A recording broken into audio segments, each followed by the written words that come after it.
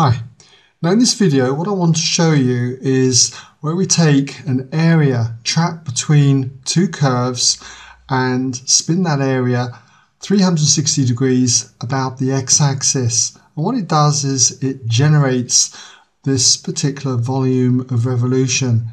If I just turn it around a little you should be able to see the kind of thing that we're looking at. Okay, Now, to generate the volume, what I did was to take an area enclosed between the curve y equals x squared divided by 8 and y equals the square root of x. And I took that area and revolved it about the x-axis. So it generated this kind of solid. I've just turned the axis slightly so you can just get a glimpse inside and I haven't finished the total volume of revolution just so that you could see this kind of section as it comes round.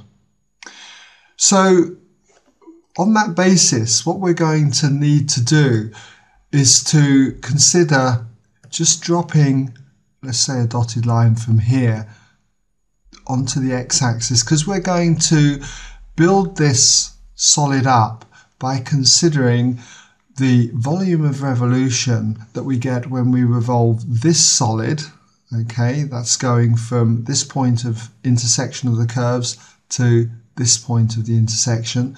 We'll revolve this round the x-axis. That will give us the outer kind of solid that we would generate. And from that we're going to minus the inside volume when we look at the volume generated underneath this curve here, y equals x squared upon 8, between here and here. So we need to build this up then by saying that this volume here is equal to this volume, which we'll call, say, V1.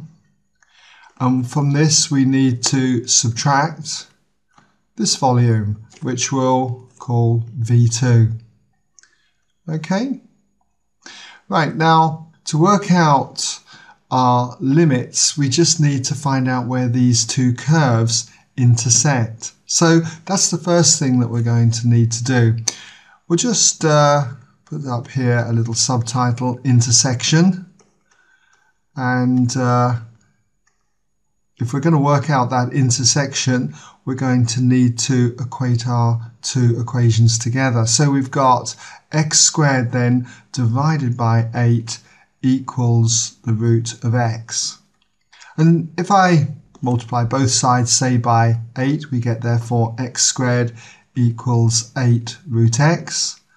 And then I think it would be best just to square both sides next. So if we do that, we therefore have x to the power 4 equals 64x. And with this, if we now just subtract 64x from both sides, we're therefore going to have x to the power 4 minus 64x equals 0. Factorize this, pull out x, and you're going to have x bracket x cubed minus 64, and that's going to equal 0. So clearly x is going to equal 0 or x cubed minus 64 is going to equal 0. If I was to add 64 to both sides then that would give me x cubed equals 64 and so to get x we've got x equals 0 from this one but to get x here we just need to take the cube root of 64 and that's going to be 4. So we've got our points here the origin, and this point here is going to have an x coordinate of 4. So that's going to be our limits then. Okay, so let's just start to work out these volumes. Well, for the volume V1, okay, it's equal to pi times the integral of y squared integrated with respect to x. And we're dealing with integrating with respect to x, so we need limits with respect to x, and that's going to be going from 0 to 4. And for this one, if we square our y, we're just going to have x. So we've got pi times the integral of x with respect to x going between 0 and 4.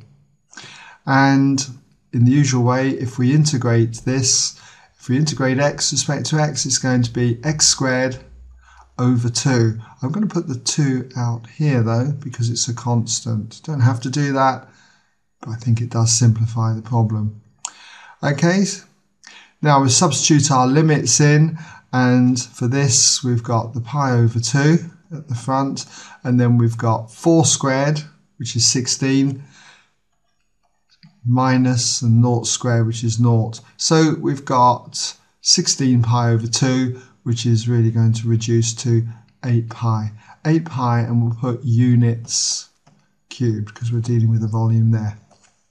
Okay, so uh, what we need to do now is work out our next volume, V2. So for V2, going to be much the same kind of idea.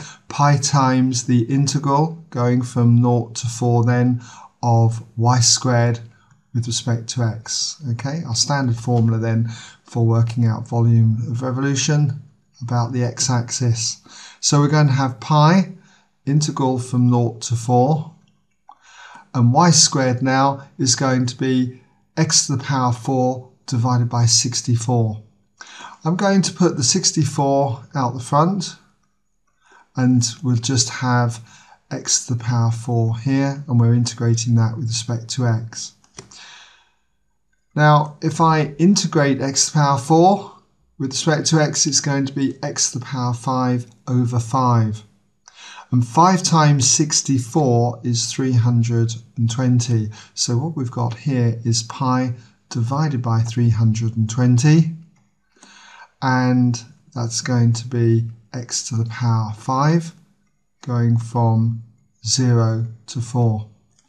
And again if we put our values in here we're going to have pi over 320 and then 4 to the power 5 well that's 1024 subtract 0 to the power 5 well that's 0 and so we've got really 1024 pi over 320 and that will reduce down to 16 pi over 5.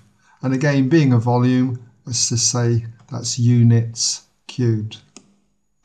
So to get the final volume, we'll just put therefore the volume okay equals and all we need to do is just subtract this volume from this one I'll just write 8 pi then minus 16 pi over 5.